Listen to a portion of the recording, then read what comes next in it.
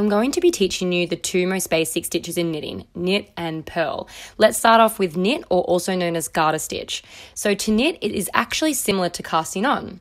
So you're going to put your needle through, you're going to bring your yarn around, bring your needle back out the front, and then slip it off the top of the needle off onto the other.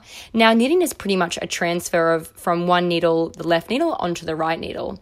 And it basically continues in that pattern uh, when you're doing the knit stitch. So you're going to keep doing that. So in through the loop around the tip of the right needle and up and off.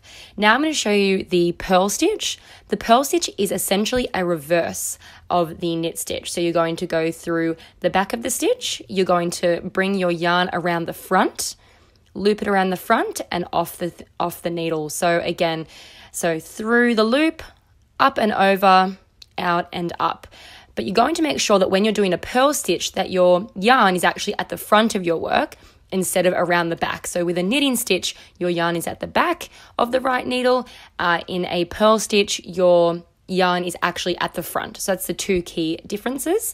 When you do a knit on the right side and purling on the wrong side, you find yourself with a stocking stitch.